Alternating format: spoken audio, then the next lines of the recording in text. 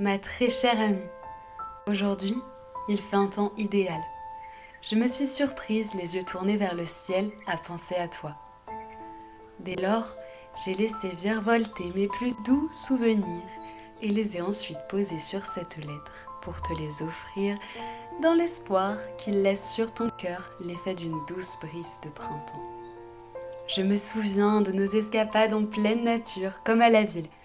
Au détour des chemins, nous surprenions de nombreux moments de vie que nous contemplions avec émotion. Toutes ces âmes de poils, d'écailles ou de plumes étaient libres.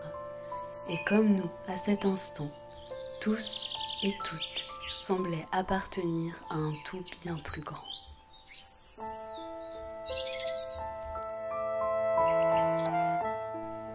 En écrivant ces mots, je ne peux m'empêcher d'avoir un regard pour tous les autres animaux retenus prisonniers au sein d'un système qui les exploite et les mutile.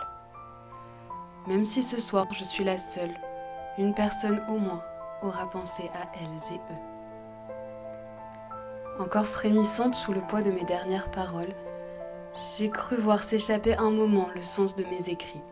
Je me demande s'il n'est pas vain d'échanger sur l'avenir d'un monde qui semble se mourir.